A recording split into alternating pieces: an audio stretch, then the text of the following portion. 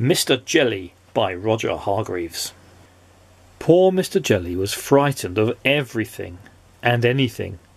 At the slightest little thing he would quiver and tremble and shake and turn to jelly.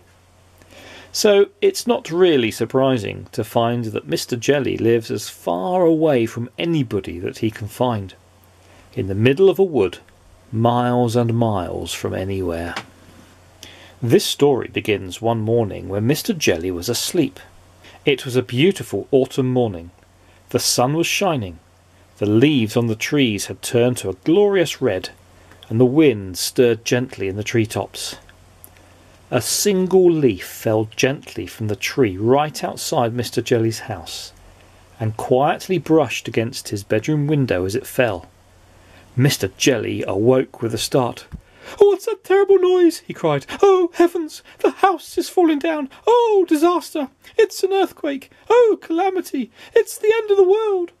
And then he hid under the bedclothes, trembling with fright. After an hour, by which time he realised that his house wasn't falling down, and there wasn't an earthquake, and the world wasn't coming to an end, Mr. Jelly peeped out from under the bedclothes. Phew! he said. Thank goodness for that! And he got up and went downstairs to make his breakfast.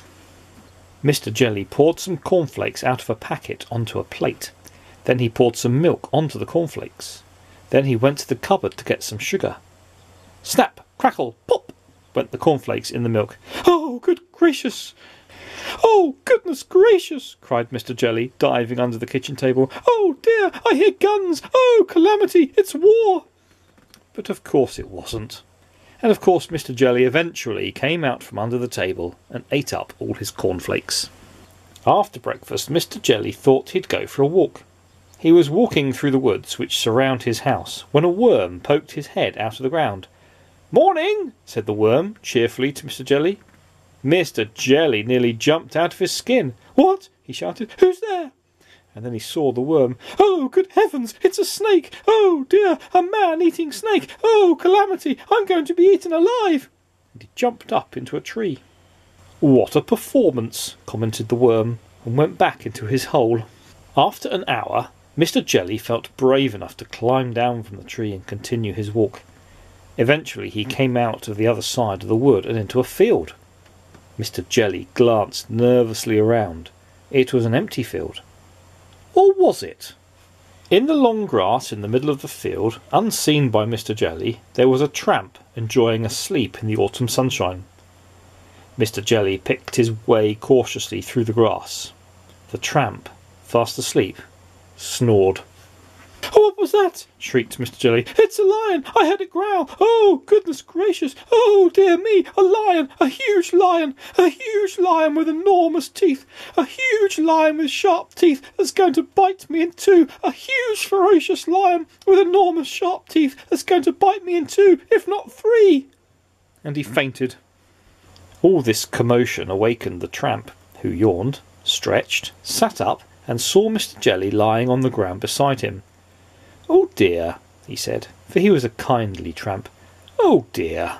And he picked up Mr. Jelly and placed him gently in the palm of his hand. Mr. Jelly came to and sat up, rubbing his eyes. Then he saw the tramp's face looking at him. Oh, disaster! he screamed. Oh, calamity! It's a giant! An ogre! Oh, gracious! He's going to have me for breakfast! My, my, said the tramp gently. You're a nervous little chap, aren't you? What's your name? Mr. J J J J J J Jelly, stammered Mr. Jelly. I used to be nervous like you, said the tramp, but I learned how not to be. Would you like me to tell you the secret? Mr. Jelly quivered and shook and said, "Y, y, yes, p p, p, please."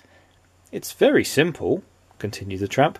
All you have to do is count up to ten, and you'll find that whatever's frightening you isn't quite so frightening after all.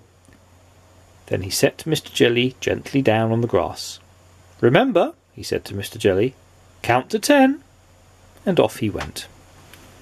Mr. Jelly thought that it would be a very good idea if he went home immediately. Back across the field he went, back through the woods he went. He was walking through the woods when he stepped on a little twig. Snap! went the twig. Mr. Jelly jumped twice his own height in terror. What was that? he shrieked. That terrible snapping noise! It's a tree falling down that's going to crush me to pieces! Oh, calamity! It's a crocodile hiding in the bushes, snapping its teeth! Oh, disaster! It's. And then he stopped. He took a deep breath. One, two, three, four, five, six, seven, eight, nine, ten, he said and saw that what had gone snap was a twig, a silly old twig. Phew, he said. Mr. Jelly had almost reached his house when a leaf drifted gently down from a tree on top of him. Help! Police! Murder! he screamed. I'm being kidnapped! Oh, calamity! It's ruffians with guns! They're going to. And then he stopped. He took a deep breath. One, two, three, four, five, six, seven, eight, nine, ten and then he saw what had fallen on him was only a leaf. Nothing but a leaf. A stupid red leaf. It works, he said out loud in wonderment. And you know, it did work. After that moment, Mr. Jelly became a changed man. Well, you can see that by looking at him, can't you? And he never shrieks, or shouts, or screams, or quivers, or shakes, or trembles any more. And he never hides under the bedclothes any more. Well, not very often anyway.